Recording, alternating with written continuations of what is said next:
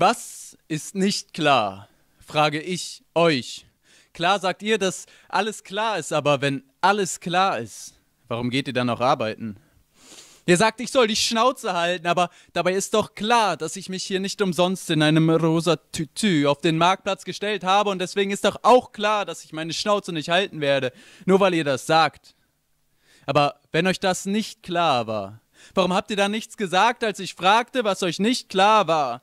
Und wenn es euch doch klar war, warum seid ihr dann so blöd und versucht es trotzdem, statt euren Atem zu sparen für die wahren Fragen? Denn lasst mich euch sagen, ich weiß, ihr tappt im Unklaren. Doch ich, ich werde sie vor euch jagen, eure unklaren Fragen, die euch so schwer im Magen liegen. Also gebt sie mir, denn tief in eurem Inneren wisst ihr bereits. Ihr seid strohdoof. Und deshalb braucht ihr einen professionellen Fragenjäger, der euch keine Antworten gibt, aber euer Geld nimmt, auf das ihr nicht reich und verzweifelt sterben müsst, sondern dumm und pleite. Denn dann könnt ihr euch beschweren, und wer sich beschwert, muss nicht selber denken. Und solange ihr das nicht müsst, ist ja alles gut bei euch. Also kommt her und preiset mich, denn ich bin euer Heiland, der euch abfuckt und nervt, auf dass ihr genervt seid und euch beschweren könnt alle Tage eures Lebens und nicht selber denken müsst, in Ewigkeit. Amen und so küsst mir die Füße, damit ihr meckern könnt, denn die sind echt ekelhaft.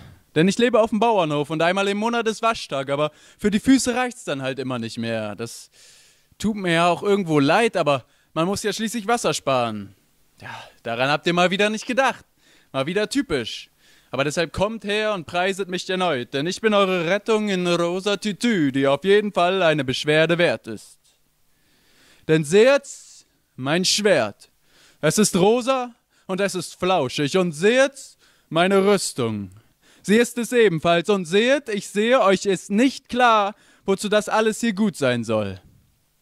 Doch keine Sorge, denn mir ist es klar. Denn wenn ihr nicht unreflektiert und spießig wärt, dann hättet ihr nicht gesagt, dass ich meine Schnauze halten soll, dann hätte ich jetzt auch nicht eure Aufmerksamkeit. So aber denkt ihr, oh, der ist bestimmt schwul.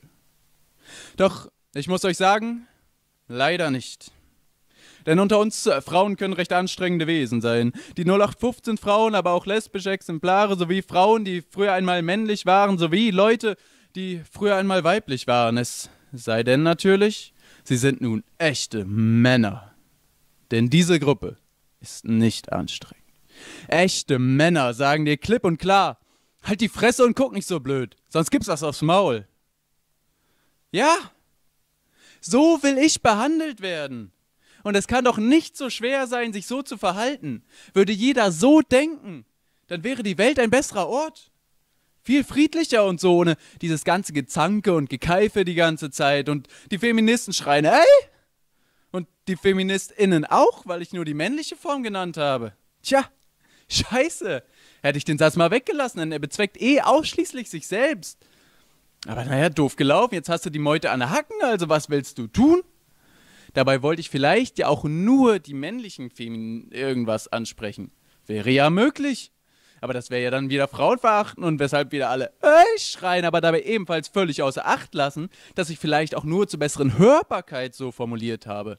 Ja, ich weiß, das hätte ich dann kenntlich machen müssen, aber vielleicht kommt das ja auch noch in einer Fußnote am Ende. Also wir mal mit bis zum Ende zuhören und dann beschweren.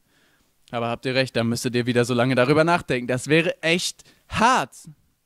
Aber wie dem auch sei, ich will nun mal rosa tragen und auf Frauen stehen und die Feminin irgendwas schreien. Ey!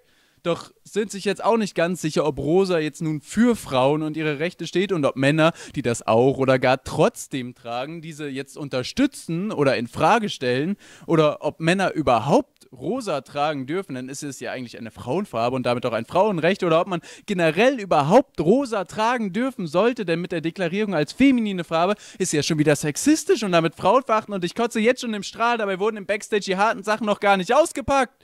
Denk mal drüber nach. Das ist nämlich gar kein Live-Auftritt. Danke.